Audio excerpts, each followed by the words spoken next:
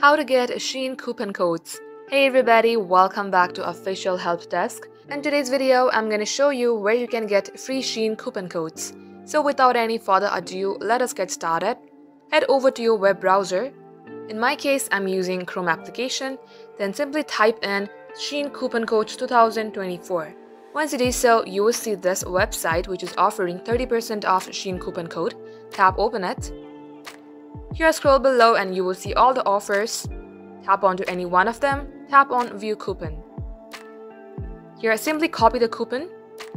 And if you would like to redeem this code right away, just tap on visit Shein and you will be able to do so once you place an order.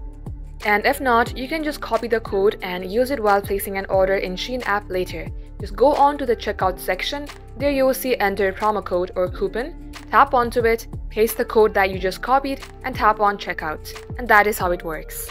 That wraps up today's tutorial. If you'd like to see more videos on this topic, then all you have to do is comment down below and we will make a video on that topic. In the meantime, do like this video and subscribe to our channel and don't forget to hit the notification bell icon to never miss an update from us. Thank you for watching and I'll see you in our next upload.